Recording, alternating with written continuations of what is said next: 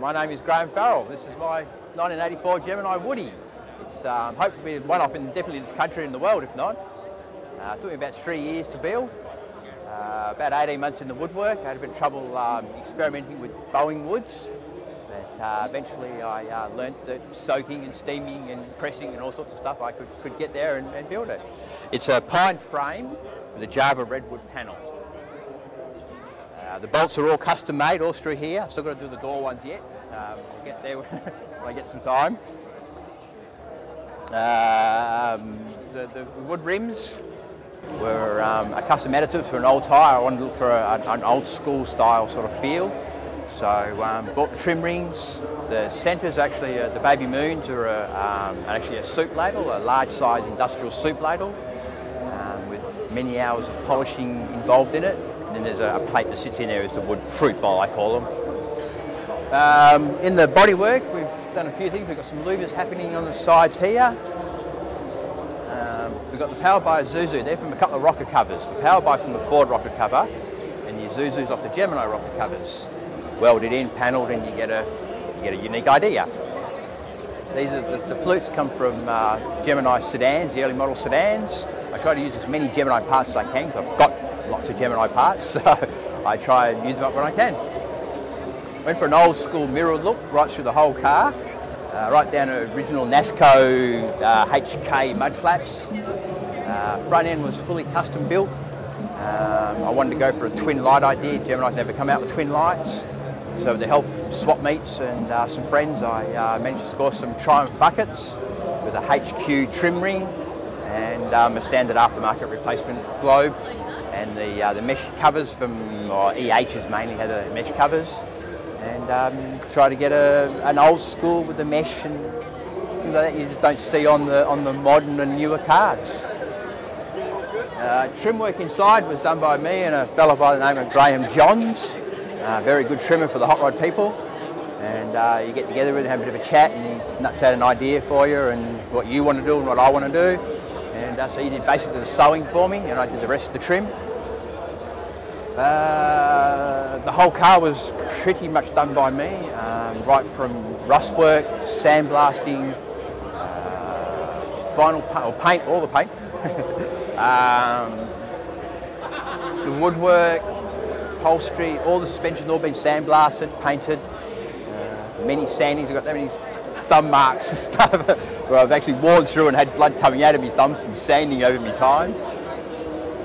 times. I went for a, um, a fallen tree look with the display. Uh, got a large stump at the back and sort of working its way up to the, the trees at the front. So I'm, I'm hoping that will take me up to the best display today. Uh, there's a couple of out there in the individual displays that might give me a run for my money. So there we go. Uh, trying to chrome up the outsides. The older cars had a lot of chrome where modern, again, modern cars have um, a lot of black or plastic.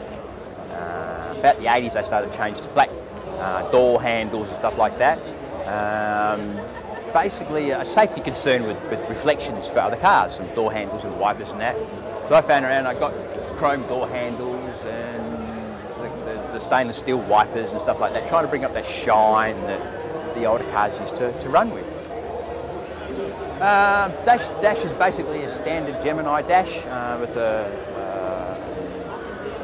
uh, a late model uh, sports um, cluster in it. Just got the tacho and the, extra few gauges of stuff already in the dash. I've added a couple of gauges to it.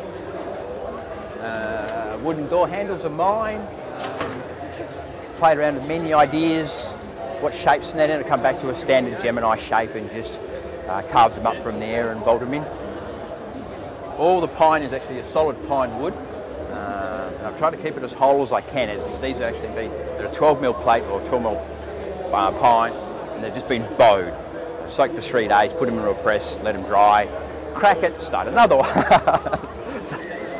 um, whereas you get these sort of larger panels through the back here, they're actually hand carved. Um, we're talking about two to three days work per piece of wood, uh, fitting on another body with a bit of um, indicator marking behind, rub it up against, take a bit more, just keep wearing off the wear marks until you've got what you got.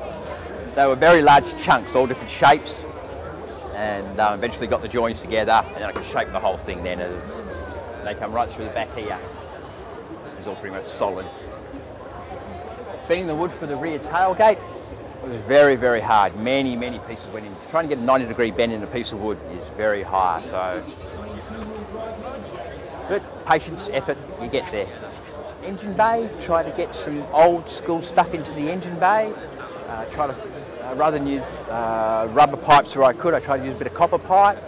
Uh, if you've um, noticed an old uh, the T buckets, particularly, um, they're very old original vintage cars. A lot of uh, copper type pipe work and stuff was used um, throughout the throughout the build them. So again, try to simulate it. So try to get rid of plastic out of the engine bay. I'm sort of getting there. Fans to give way at the moment, but it's hard. Uh, the, all the suspensions, all Gemini stuff, um, various models, and that all combined to give me lowness and heights and all that sort of type stuff. But that's all pretty much standard sort of fare, so keep the, the ADR guys and the police happy. So when I went for license, it was a, a standardish car that was being dressed up, and that would be about it.